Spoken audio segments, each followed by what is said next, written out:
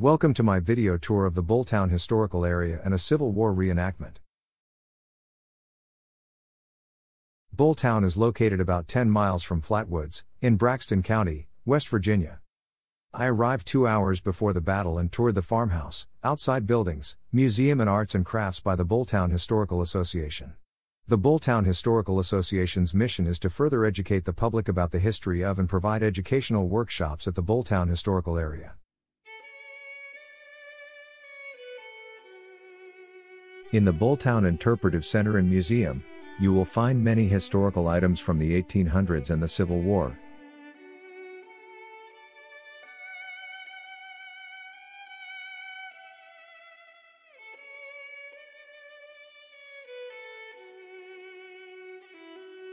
The two-story Cunningham farmhouse was built in 1802.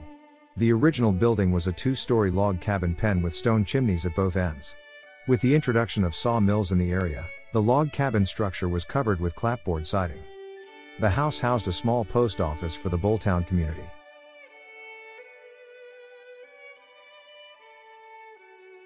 The house was also used as a tollgate station to collect fees for the Weston Gauley Bridge Turnpike. Some of the original Weston, Gauley Bridge Turnpike Road can be seen going by the house. Inside the farmhouse, you will find antique furniture from the 1800s.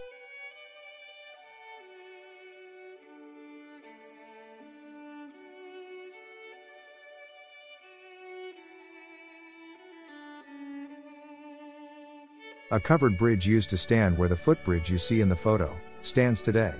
The covered bridge was built in 1854, seven years before the Civil War. This photo of the bridge was taken in 1914. It crossed the Little Kanawha River. It was part of the Weston, Gauley Bridge Turnpike, that saw a lot of traffic, including horseback riders, buggies, freight wagons, and Union and Confederate armies. The granary is one of the oldest buildings on the Cunningham farm. It was used to store cut, dried, and shucked corn. The corn was used to feed both people and livestock during the winter. Cornmeal was a staple for most families in the 1800s. The Battle of Bulltown was a skirmish fought near Bulltown in Braxton County, West Virginia on October 13, 1863. In the fall of 1863, William Lowther Jackson, the cousin of Stonewall Jackson, led a raiding party of 700 men into central West Virginia to capture the strategic fort at Bulltown, which overlooked an important crossing of the Little Kanawha River. The goal was to cut federal communications between the Greenbrier and Kanawha valleys and control of the Weston Gauley Bridge Turnpike Road. The Union garrison of roughly 400 men was commanded by Captain William Mattingly. The Union troops manned a fort of makeshift log barricades and shallow trenches which can still be seen today. Jackson approached Bulltown secretly. He divided his forces in an attempt to converge on the Union position from two different directions.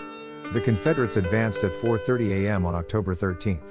They quickly captured the Federal pickets but failed to take the main garrison by surprise.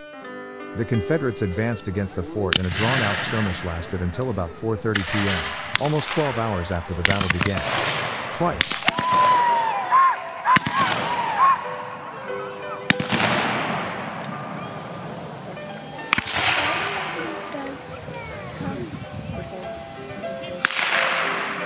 Jackson sent a flag of truce with a demand to surrender to Captain Simpson, asking him to surrender, but Simpson answered back that he would fight them until hell froze over, and if he had to retreat, he would retreat on ice.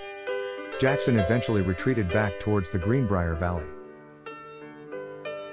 Casualties were very light considering the length of the battle. On the Union side, there were no fatalities. Captain Mattingly was wounded in the thigh, and there were some other slight wounds in the Federal camp. The Confederates lost eight killed and a like number wounded.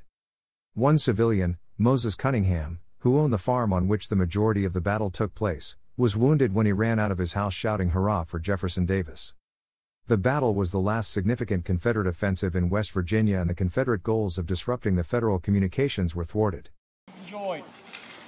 On behalf of the 31st, 36th, 10th West Virginia, we salute you. Thank you.